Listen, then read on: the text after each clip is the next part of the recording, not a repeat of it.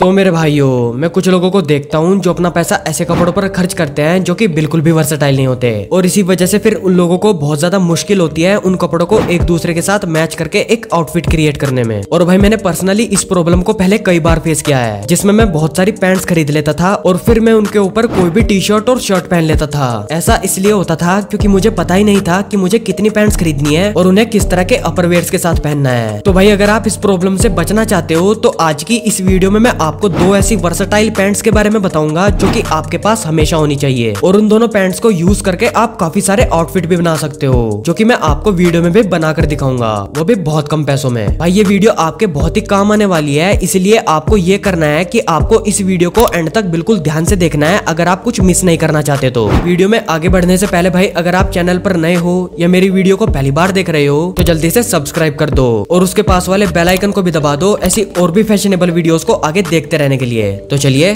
आगे बढ़ते हैं। तो भाई, पहले मैं आपको उन दोनों पैंट्स के बारे में बता देता हूँ जो आपके पास होनी चाहिए, जिनको यूज़ करके आप बहुत सारे आउटफिट बना सकते हो। तो भाई, पहली पैंट है ब्लैक कलर की चीनो पैंट। भाई, आपके पास कोई जीन्स या पैंट हो या ना हो, बट आपके पास एक ब्लैक कलर की चीनो पैंट हमेशा होनी चाहिए। ब्लैक कलर की चीनो पैंट से आप अपने काफ़ी सारे पैसों को बचा सकते हो, क्योंकि ब्लैक कलर बहुत ही ज़्यादा वर्सटाइल होता है, जिसकी पैंट या जीन्स को आप किसी भी तरह के अपर क्लोथिंग आइटम के साथ मैच करके पहन सकते हो। नॉर्मली हम में से काफ़ी सारे लोग यहाँ कंफ्यूज रहते हैं कि हमें ब्लैक कलर की जीन्स लेनी चाहिए या ब्लैक कलर की चीनो पैंट लेनी चाहिए। तो भाई, इस कंफ्यूजन का सबसे अच्छा सोल्यूशन है कि आप ब्लैक कलर की चीनो पैंट लो, जिसको यूज़ करके आप बहुत सारे आउटफिट बना सकते हो कैजुअल से लेके सेमी फॉर्मल तक। और अगर ब्लैक जीन्स की बात करूँ तो आपको जीन्स को सिर्फ़ सर्दियों में ही खरीदनी और पहननी चाहिए, क्योंकि जीन्स का फैब्रिक बहुत थिक होता है, जो आपको सर्दियों में ठंड से प्रोटेक्ट करता है। और उसके ही अपोजिट अगर आप ब्लैक जीन्स को गर्मियों में पहनोगे तो आपको और भी ज़्यादा गर्मी लगेगी, जिससे आपको रैशेज और फंगल इन्फेक्शन जैसे स्किन प्रॉब्लम्स को फेस करना पड़ सकता है। तो इसी वजह से आपके लिए सबसे अच्छा यही होगा कि आप अपना पैसा ब्लैक जीन्स की बजाय ब्लैक चीनो पर इन्वेस्ट करो, जिसे आप गर्मियों के सीज़न में तो पहन ही सकते हो, बट उसके साथ साथ आप चीनोस को कभी कभी सर्दियों में भी पहन सकते हो। तो भाई दूसरी पैंट है जो आपके पास हमेशा होनी चाहिए, वो है ग्रे कलर की चीनो पैंट। भाई ग्रे मेरा ब्लैक के बाद सबसे फेवरेट कलर है, जिसकी चीनो पैंट को मैं अलग अलग आउटफिट बनाने के लिए यूज़ करता हूँ। क्योंकि भाई ग्रे एक ऐसा कलर है, जिसे आप काफ़ी सारे अपरवेयर के साथ इजिली मैच करके पहन सकते हो। और भाई ग्रे कलर की चीनो पैंट को आप किसी भी ओकेजन पर बिना डाउट के आसानी से पहन सकते हो। इस पैंट के साथ मेरा एक फेवरेट आउटफिट है, जिसे मैं आपको वीडियो में आगे बताऊँगा। तो भाई, आप इन दोनों पैंट्स के साथ कौन कौन से आउटफिट बना सकते हो तो वो मैं आपको बता देता हूँ। तो भाई, पहले बात करते हैं कि आप ब्लैक चीनो पैंट के साथ कौन कौन से आउटफिट बना सकते हो? तो पहला आउटफिट है, जिसमें आपको ब्लैक चीनो के साथ व्हाइट कलर की पोलो टी शर्ट पहननी है और शू में आपको व्हाइट स्निकर पहनना है। ये आउटफिट आपको काफ़ी मिच्योर लुक देगा, जिससे आप दिखने में बहुत ही स्टाइलिश लगोगे।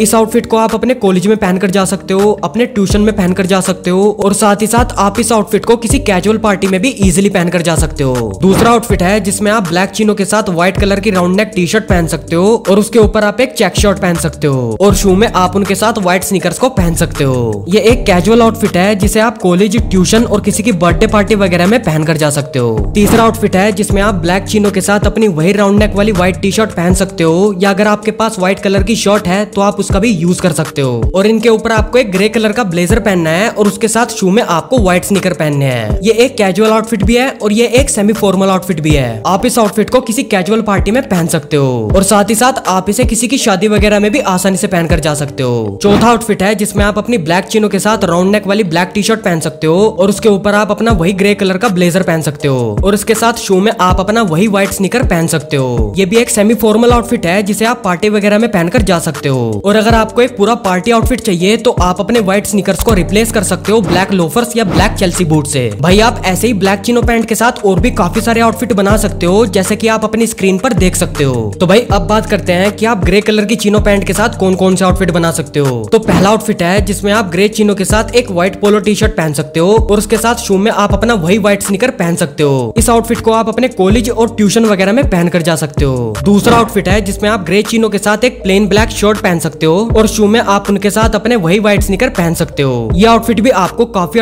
अट्रैक्टिव लुक देगा, जिसे आप कैजुअली कहीं पर भी पहन कर जा सकते हो। और अगर आप व्हाइट स्निकर्स को ब्लैक कलर के लोफर से रिप्लेस कर दोगे तो आप इस आउटफिट को किसी की शादी या पार्टी वगैरह में भी पहन कर जा सकते हो। तीसरे आउटफिट में आपको अपनी ग्रे चीनो के साथ एक मरून कलर की राउंड नेक टी शर्ट पहननी है, और उसके साथ आपको अपने व्हाइट स्निकर्स को पहनना है। ये भी एक कैजुअल आउटफिट है, जिसे आप किसी भी कैजुअल ओकेजन पर पहन कर जा सकते हो। और साथ ही साथ, भाई, ये मेरा फेवरेट आउटफिट है। ऐसे ही भाई, आप ग्रे कलर की चिनो पैंट के साथ और भी काफ़ी सारे आउटफिट बना सकते हो, जैसा की आप अपनी स्क्रीन पर देख सकते हो। तो भाई, मैं उम्मीद करता हूँ कि ये वीडियो आपको काफ़ी पसंद आया होगा। अगर ये वीडियो आपको पसंद आया हो तो वीडियो को लाइक करके चैनल को सब्सक्राइब ज़रूर से कर देना। और अगर आपने मुझे इंस्टाग्राम पर फॉलो नहीं किया हुआ है तो आप मुझे इंस्टाग्राम पर भी फॉलो कर लेना। क्यूँकी मैं अपने इंस्टाग्राम पर जल्दी कुछ स्पेशल करने वाला हूँ। लिंक आपको नीचे डिस्क्रिप्शन में मिल जाएगा, वहाँ से आप मुझे फॉलो कर सकते हो। और हाँ भाई, अगर आपने मेरी वीडियो को पहली बार देखा है तो आप मेरी इन दोनों वीडियोस को भी एक बार ज़रूर से चेक करना। तो भाई, आज के लिए बस इतना ही। मिलते हैं अगली वीडियो में। तब तक के लिए खत्म। Bye bye Tata